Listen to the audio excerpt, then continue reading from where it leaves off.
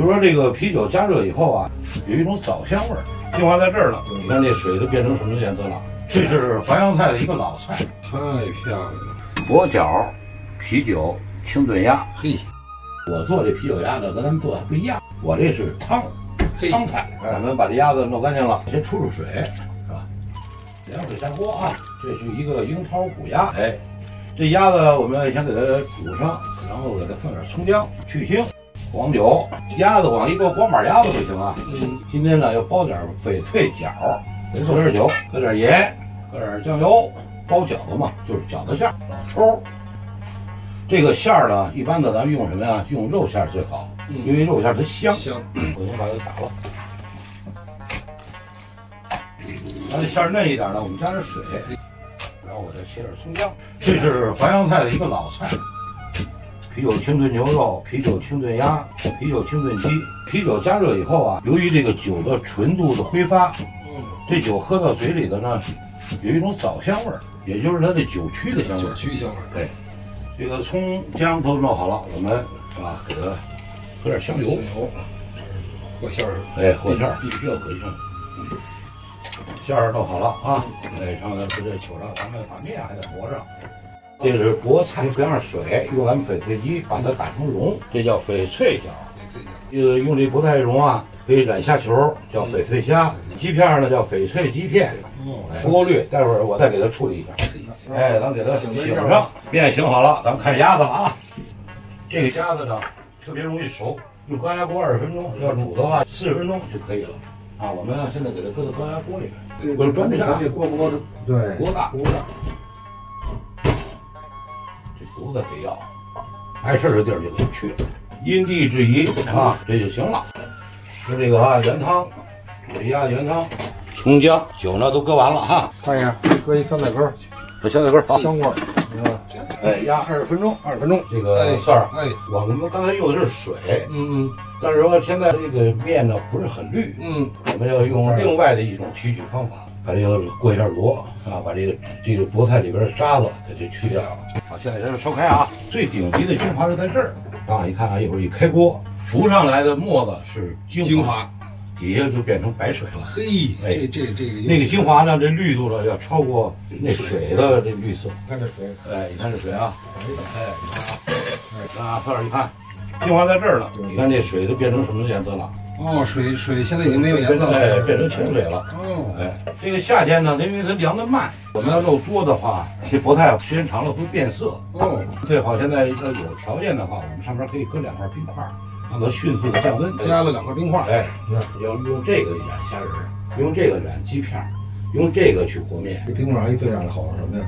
它使的颜色它更更更更绿，啊对更绿这就是后来就说那个非水性绿颜色太去，它就会过凉，对对越凉越什么。，对，越凉越好。你看跟大爷啊，为什么多来两个有好处？是是是。跟跟这大爷啊学点儿老知识。好了，你再搁水吸了，颜色还是上不去哦，对对对，啊。我得拿这边儿。好，慢慢揉和。而且面呢要染的要比别的要绿一点儿，因为它下下锅以后啊，更更还有一种脱色。我哦，们把它混润了。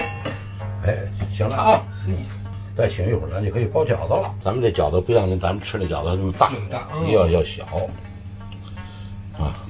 翡翠饺子、翡翠面，哎，来碗翡翠面，烫几个活虾仁儿，这虾倍儿红，鲜虾翡翠面，清汤的啊。咱们包饺子也可以挤啊。嘿，挤饺子，哎，一个。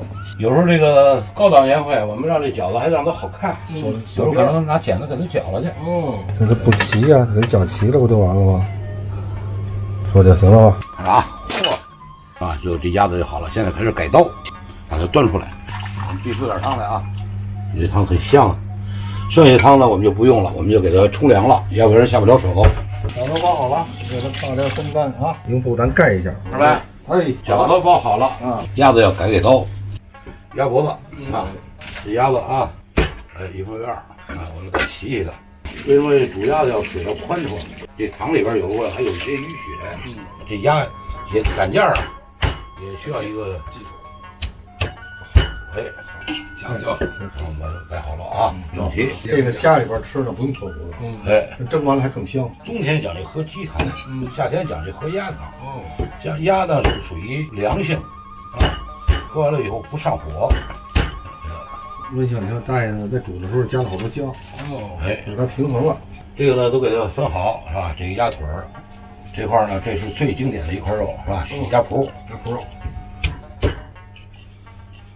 这肉最多的这块儿，你看这两个鸭脯，好看吧好？看。哎，这个改成多少块儿呢？嗯，哎，要改成十块儿。OK，呵，这好看吧？够这会儿应该是调味儿了。我们是啤酒鸭，少不了啤酒，什么啤酒都可以啊，尽量别用黑啤酒。哦，哎，有食欲。这啤酒呢，可多可少，啊，也可以少一点儿，还得搁点黄酒，我要找一小盘儿，给它压上点儿，是吧？哦，压的目的呢，就别让这肉散散了，哎。保持它的形状。这个这是一小窍门而已，哎，搁点黄酒。我们这鸭子前期呢已经搁了葱姜了，嗯，这回要少搁。有的人啊一搁搁葱姜搁特别多，全是葱姜味儿，葱姜味儿，也不行，一样两片儿啊。那这样汤不够。嗯，啊，我们这儿还留了点鸭汤。哦，把这鸭汤呢，把油要去干净。一只鸭子将近要出半斤左右的油，出油量很大，尤其咱北京这个甜鸭。这鸭有多大？好了，盐啊盐，哎，白胡椒。好，因为这啤酒发苦发苦，苦，哎，稍微补一点糖，白糖也提鲜。提鲜，就味精什么的咱就不搁了，鸡精也不搁了。为什么？我们这个原料都非常新鲜。这现在就蒸整盖儿蒸一小时。一小时哎，另外呢，这时间还有一个另定，如果煮鸭子煮的比较烂乎，就用就我们就可以蒸四十分钟啊。如果这鸭子欠点火，我们就要哎多多蒸一小时。多蒸一会儿呃，鸭子也蒸了快一小时了，哎，马上就出锅了。薄角、啤酒、清炖鸭，嘿，哎，这是个夏季的一个汤菜。汤菜呢，在宴会里边呢，它也算一个主菜。这汤出锅了，嘿，然后我们把这个葱，刚才搁的是两片葱，对，两片姜，哎，然后把这盘儿起了，看啊，嘿，形状还是这么整的，哎，还这么整齐，饺子马上就得啊，嗯，泡好的枸杞，看一下啊，这饺子已经好了，哦，关火，嘿，饺子呀，这饺子呀必须汤都是热的，哦，不然的话这饺子一放到里边啊它就沉底儿了，如果凉了以后不行，看哦，啊，哎呀，太漂亮了，太有食欲了，嘿，还有小花饺子呢，好了，薄角、啤酒、清炖鸭，这个跟我们网友说一下啊，这个锅实在是不好起烫，我们就放在这个蒸蒸屉上。家里边条件有限啊。哎，嘿，来哎，大爷，谢谢大爷，来，这给我。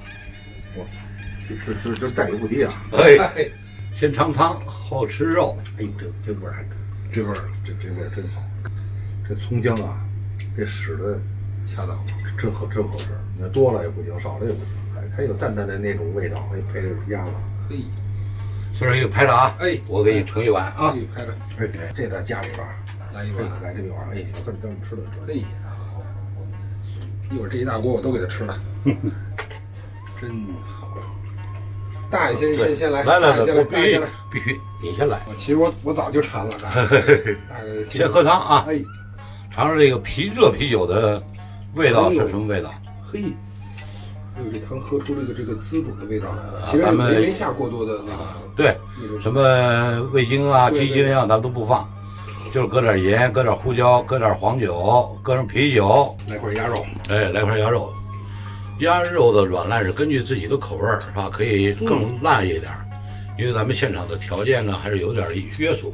特别合适。您看。啊，。哎，稍微一咬，是，那时候就这道菜呢，征服了无数的人，嗯，啊，也接待过无数这个这个外宾呃，应该说受到这受到火个宾客的喜欢，喜欢对啊。而且今天呢，终于今天大爷重新再现这道菜，心里边软乎乎的。你看啊，汤清味美，饺子那个是味道非常浓，肉香味儿非常浓，一咬一口，滋儿滋儿出来了。对对对，鸭的那种清香，投料这种巧妙，是吧？使这个鸭子，你看你 说说出啤酒味儿来，是是但是就一点鸭腥的味儿没有，是吧？好吃的味道，年代的记忆，年代的记忆，大爷的手情怀。大爷的情怀，情怀对。是吧？记忆的传承。哎嘿呦，好，谢谢二位，谢谢四哎位。呦，好谢谢谢谢大哥，呃，把这汤都喝了必。须喝，必须喝。哎，我去了。大爷一会儿我会表扬人吗？你太你太会表扬人了，对，必须喝。你你表扬的我很激动。